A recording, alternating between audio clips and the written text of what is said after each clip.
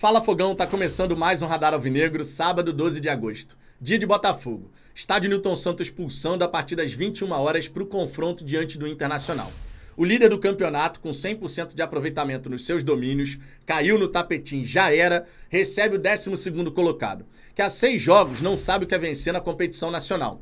É verdade, no meio de semana contra o River Plate na Libertadores, o Inter conquistou uma baita vitória, uma baita classificação, o que injetou confiança do lado de lá. Mas se tem confiança voltando por lá, tem muita confiança estabelecida por aqui. Não só pela classificação na Copa Sul-Americana, mas principalmente por conta de todo o contexto geral. O Botafogo, afinal de contas, tem 44 pontos no Campeonato Brasileiro. Pode, inclusive, estabelecer novo recorde vencendo hoje, superando a campanha do Corinthians de 2017 em número de vitórias. E contra o Internacional, no estádio Newton Santos, com a torcida empurrando o Botafogo, nós temos muita confiança na vitória. Os 13 pontos de vantagem para o vice-líder podem virar nessa rodada 15, 16 de repente. Vai que, para isso, claro, a gente precisa vencer. E venceremos, Fogão. Só que, obviamente, para vencer, temos que explorar pontos fracos do adversário e neutralizar pontos fortes. E é disso que se trata esse vídeo análise. Fiz a análise do jogo do Red Bull Bragantino contra o Inter para cá, porque afinal de contas o Cudê só assumiu o Colorado no dia 19 de julho. E Mano Menezes e Cudê têm características muito distintas. Não fazia, portanto, sentido eu olhar o Inter na era Mano Menezes. Era uma coisa. E agora vai se modificando, o Cudê gradativamente vai colocando a sua identidade no time do Internacional. Uma curiosidade, o Cudê já foi derrotado pelo Botafogo no Newton Santos nesse Campeonato Brasileiro. Não pelo Inter, claro, mas com o Atlético Mineiro. E hoje vai sair derrotado mais uma vez. Tenho confiança nisso, assim como sei, você também tem essa confiança. Só que antes da gente falar sobre todas essas questões, Fogão, aquele pedido especial. Primeiro, para você deixar o seu like. Segundo, para você se inscrever aqui no canal e nos ajudar a alcançar a marca dos 34 mil inscritos.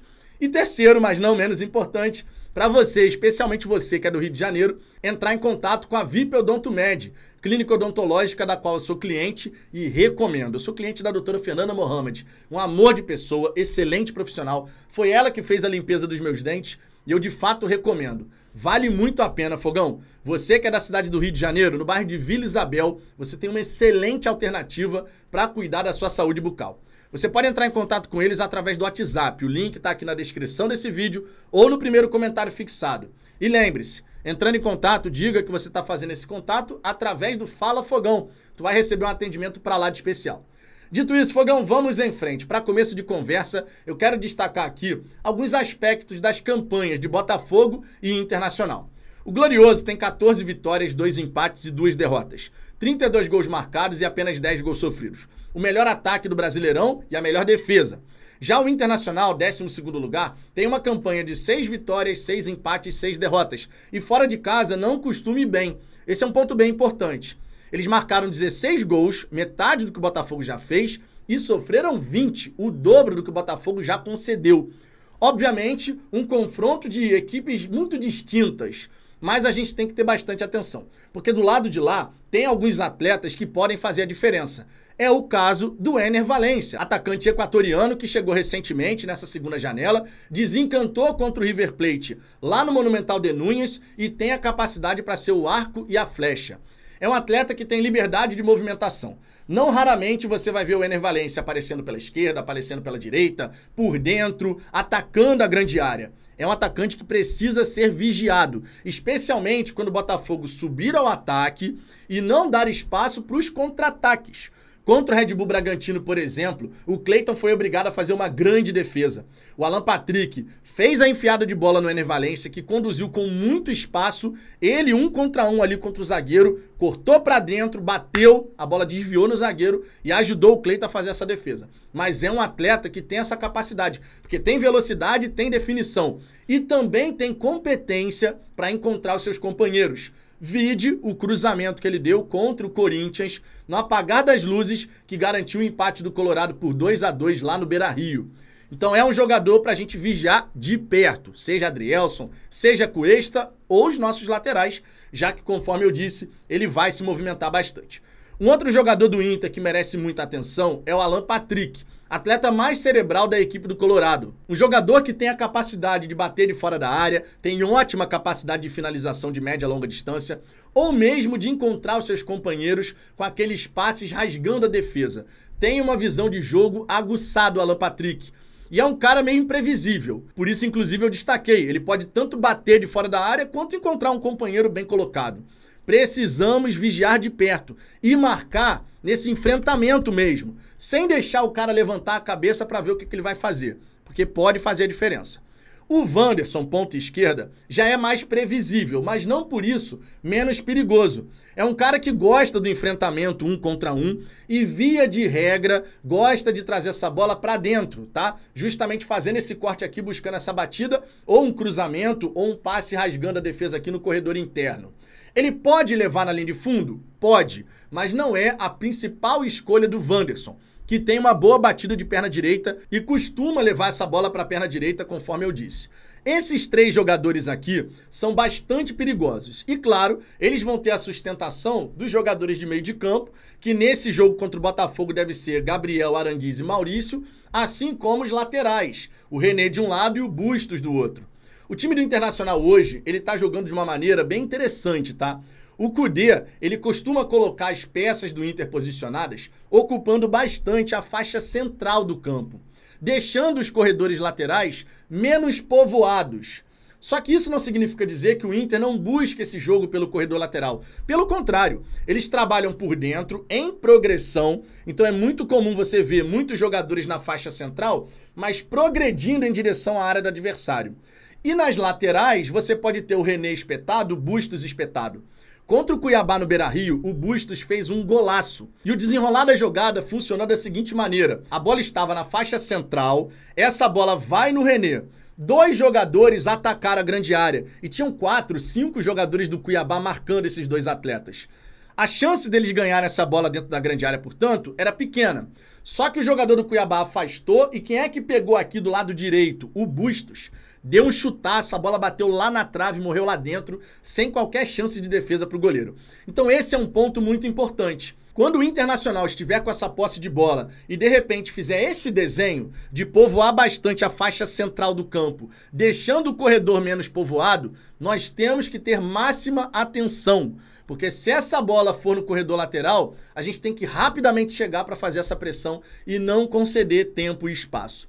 Entenda, Fogão, o time do Inter é um time que não tem tanta imposição física, perto do Botafogo pelo menos. O jogador mais alto do setor ofensivo do Inter é o Ener Valência, com 1,78m.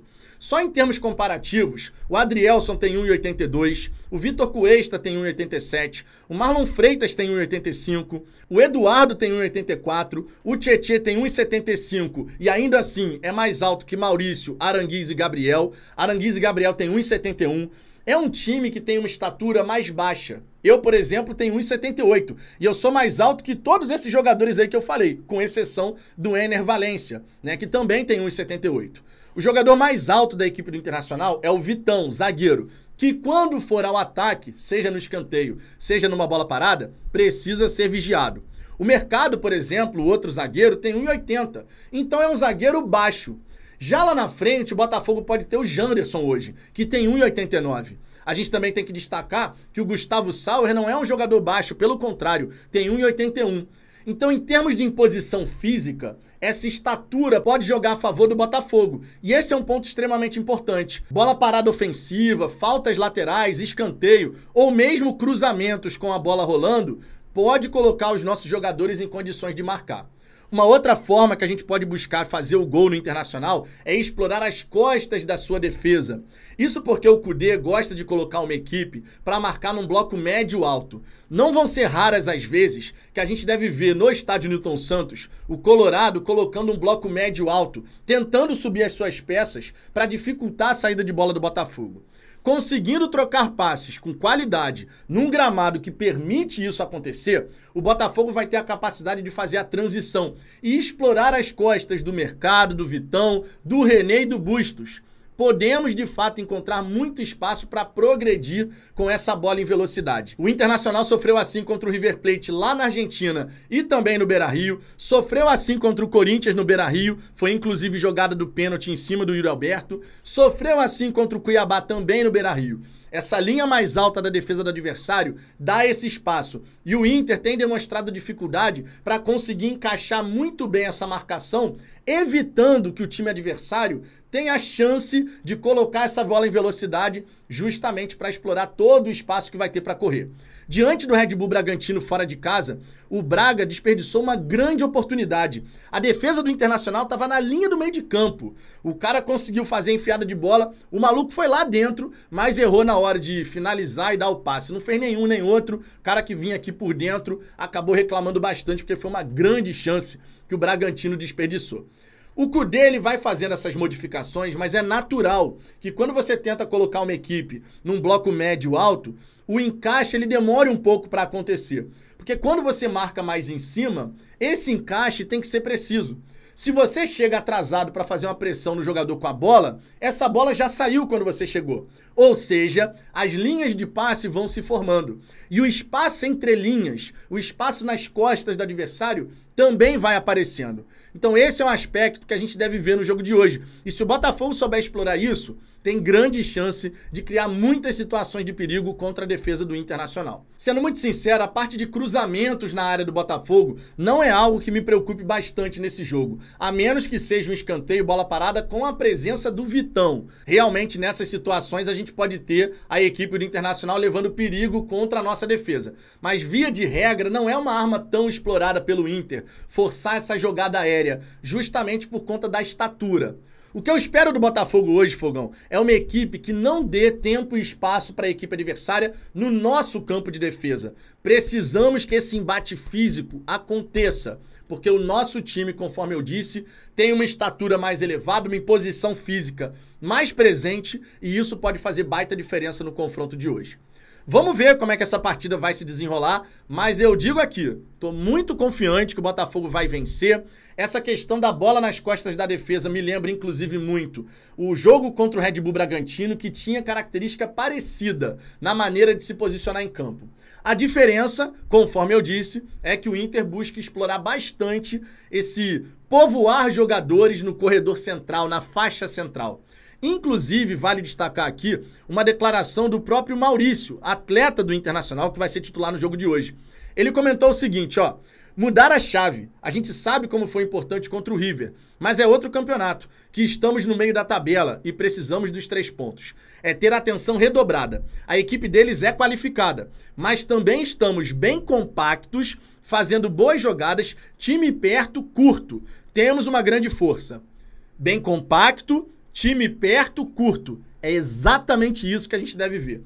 Muitos jogadores aqui na faixa central, próximos um do outro, tentando tabelas rápidas para progredir em direção ao gol do Botafogo e eventualmente explorando a chegada dos pontas, dos laterais, que naturalmente vai ser uma região menos povoada ao longo dessa partida. Tudo indica que seja dessa maneira. Vamos ver se vai acontecer assim na prática. Tá confiante, Fogão? Eu tô muito confiante. A gente vai ganhar mais três pontos aí no Campeonato Brasileiro e vamos abrir 16 pro vice-líder, jogando toda a pressão pro lado de lá. Um grande abraço, um ótimo jogo pra gente e lembre-se, pós-jogo aqui no canal mais tarde hoje e espero um pós-jogo de vitória. Fui! Vamos, vamos, vamos,